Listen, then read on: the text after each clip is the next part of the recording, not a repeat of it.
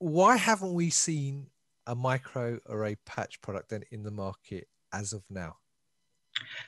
Um, I would say there's a big technological hurdle to overcome, and um, microneedle. The concept of microneedles is not so new, if you like, in in the scientific environment at universities and institutes. This is actually talked about and even done uh, in the past. Uh, I think for the last 30 years or 40 years, maybe even.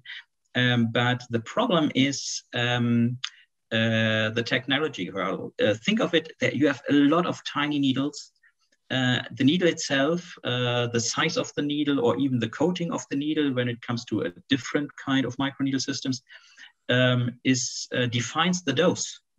And to be so precise in these tiny little uh, structures is very difficult. When you think back 30 years, it was not possible to have a good content uniformity uh, it was always um, the the assay was always very shifty, um, and uh, so it made it not possible to have a commercial product. Uh, in the last year, there was really a jump, uh, an improvement in this kind of technology, where you had um, uh, improvement in dosing precision, right. Uh, in coating precision, and in, in, process controls, which can monitor it online to modify, let's say, a dosing process. Um, and this makes it possible at, the mo- uh, at, at, this moment to really take the jump into the market.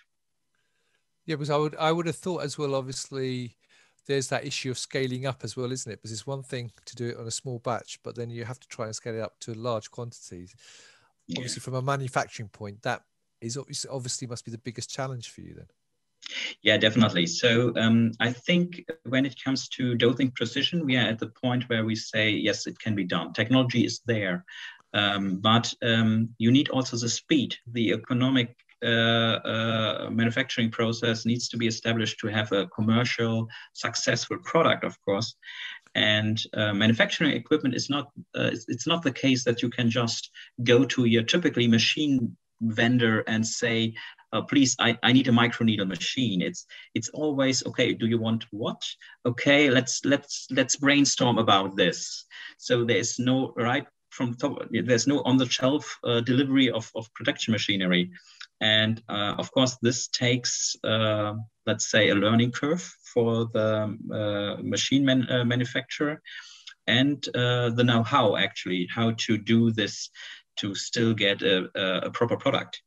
And so uh, every company working on microneedles and want to go into the market with a product needs to, let's say, rethink and redesign the lab process and uh, check with, uh, with certain vendors for production machinery to see whether they can actually build one.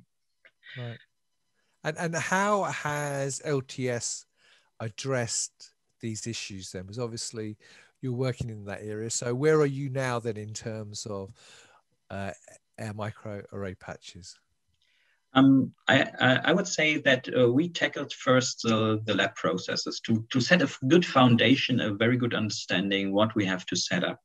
And I have to say that um, um, being at LTS has quite some advantages. Being 40 years in the business actually means um, uh, and with production equipment means we have a very good engineering team. And even if we don't do the whole machinery, we have a very experienced people, very experienced engineers who can support uh, companies to build such machines, to, to give them a better understanding about the process.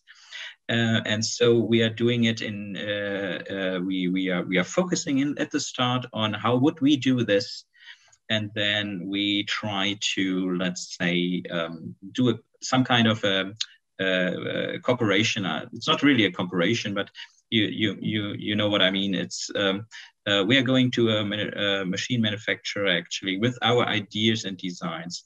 Uh, and um, yes, at the moment we are at the point where we can say we have a good understanding, we uh, have a good idea about how we want to do it, uh, in a in mass production, uh, and um, yeah, this is actually where we are at the moment.